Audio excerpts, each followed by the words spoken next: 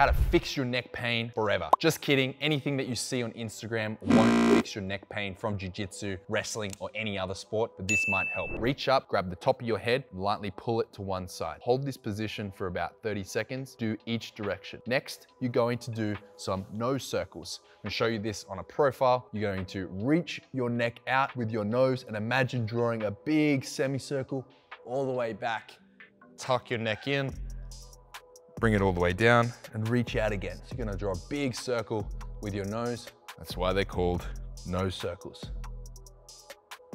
Another one that I like to do is you're going to look over your shoulder and then look up. Hold this position for about 30 seconds. If it doesn't feel right, don't do it. Don't yank on your neck, don't be an idiot. But these different mobility drills for your neck, the static stretching can help, but nothing that you see on Instagram is gonna fix your neck, fix your elbows, fix anything. All this does is it might help. Give it a go.